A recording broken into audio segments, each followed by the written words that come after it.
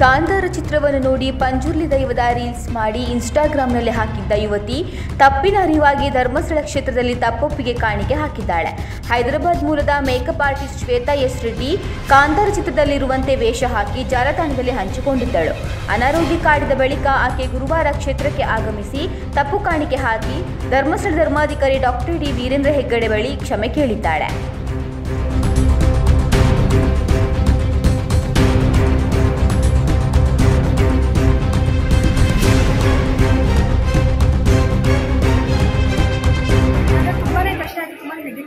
Negative start ಆಯಿತು ಮತ್ತು ಇದು ಮಾಡಬಾರ್ದು ಅಂತ ಅವಾಗಲೇ ಗೊತ್ತಾಗಿತ್ತು. ನಾವು ಬೆಂಗಳೂರು ನಮಗೇನು ಗೊತ್ತಿಲ್ಲ ಇದ್ರ ಬಗ್ಗೆ.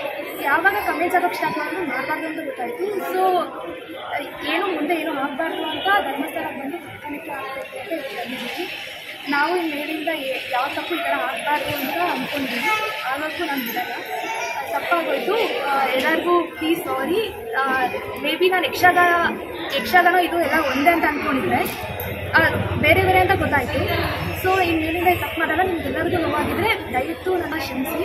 ಅಷ್ಟೇ ನೀರು ಹಾಕ್ಬಾರ್ದು ಅಂತ ಗೊತ್ತಾಯಿತು. ಮತ್ತು ಯಾರು ಅದಕ್ಕೆ ತುಂಬಾ ರೂಲ್ಸ್ ಎಲ್ಲ ಇದೆ ಅಂತ ಗೊತ್ತಾಯಿತು.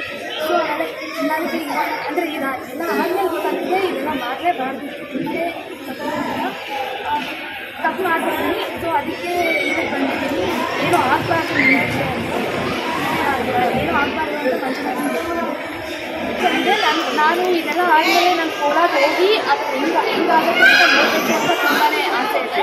ನಾನು ಯಾರಾದರೂ ಗೊತ್ತಿರೋರು ಕರೆದು ಪಕ್ಕ ಹೋಗಿ ಅದು ಹೆಂಗಾಗುತ್ತೆ ಏನಾಗಲ್ಲ ನೀವು ಚಾನ್ಸ್ಕೊಂಡು ನಿಮ್ಮ ನಂಬಿಕೆಗೆ ನಾನು ತುಂಬಾ ಅಂತ ಮೇಲೆ ನೀವು ಬೇಜಾರಾಗಿರೋದ್ರಿಂದ ನಾನು ಕೆಲಸ ಈಗ ಕೆಲಸ